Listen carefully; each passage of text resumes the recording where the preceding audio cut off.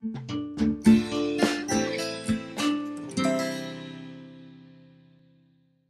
we'll now talk a little bit about the current situation of uh, COVID-19 in the world. I don't need to tell you, you're experiencing them, the serious impact on economic growth, social relationships, healthcare infrastructure in most of the affected countries.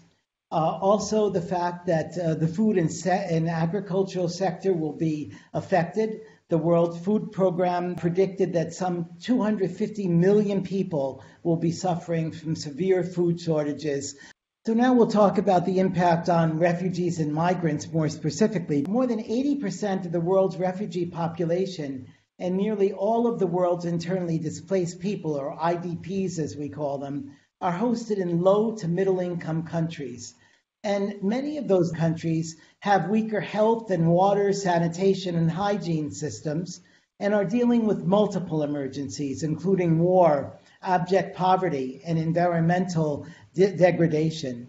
In Syria, 68,000 people are living in the Al Hol camp, where one person must live within a tiny space similar, similar to that of a single car parking space.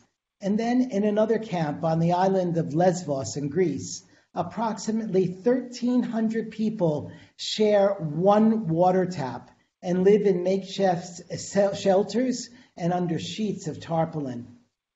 International migrant workers are also being deported and losing jobs by the hundreds of thousands. We need to make sure that uh, refugees and migrants are afforded the same kind of help that the general population is afforded in the countries where they're living, that they have the help that they need to be able to get uh, assistance if they are beginning to show the symptoms of uh, COVID 19. Because of the conditions these people are living in, once the infection starts to rage, literally rage in these places, that it will spread like wildfire we in ICMC are involving the refugees and, and trying to get them to help us to educate others, uh, both family members, other refugees and migrants, and people in the local host populations about the situation of COVID 19, how it spread, how to prevent its spread, and also what to do, how to recognize some possible symptoms of COVID 19 so that they could seek help.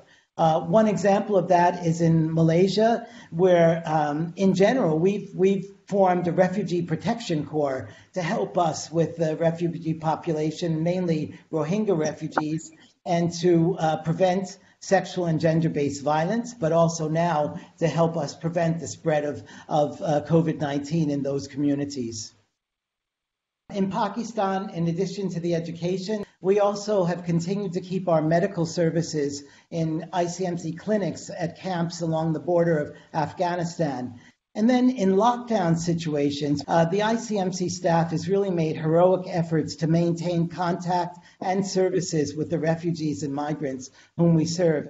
In Malaysia, our staff is developing internet based tools to prevent domestic violence among the Rohingya and other refugees affected by the lockdown. We're calling this program Peace at Home, and we're trying to help them understand the ways that they could cool down and make sure that violence doesn't break out in the home. Um, our Jordan colleagues uh, are applying for special permits to make home visits and thus be able to deliver cash assistance and other daily living supplies to the refugees who are in, who are in lockdown, both in camps and in the urban centers. In Greece, in addition to our legal and social services, which we're doing remotely, we also send protection experts into two of the refugee camps in order to monitor conditions there and to intervene on behalf of the most vulnerable refugees, especially the unaccompanied uh, children. And finally, uh, we continue to advocate both at the global level and then at national level through our member bishops' conferences and other partners for policies and laws that offer health care and economic support to all especially to migrants, refugees, and IDPs without regard to their status.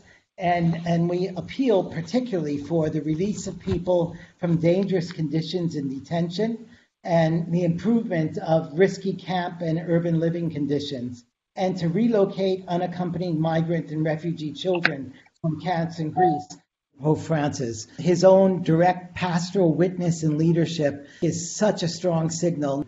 And uh, also some very practical responses. His COVID 19 global response team, uh, where he has teams of people working on looking at the impact of COVID 19 right now and also trying to project the impact long into the future, but also to ask the, the deeper questions, which he already asked in his encyclical Laudato Si, of what happens, you know, in the future. Do we just go back to what we thought was normal, or do we really make some deep changes in our economic, our social, our political uh, situations in the world? And the worst thing we could do is simply to try to go back to what we were doing exactly the way we were doing it before. Pope Francis has constantly reminded us that uh, the novel coronavirus outbreak is a trying time for everyone, but more so for those on the margins of our societies, like migrants and refugees, who are often the most vulnerable.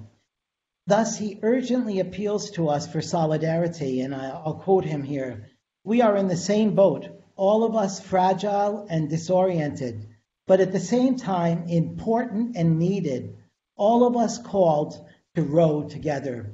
So I hope that this message of rowing together, of solidarity, of caring for the most vulnerable, uh, will be resounding throughout the world as we continue our response uh, to COVID 19.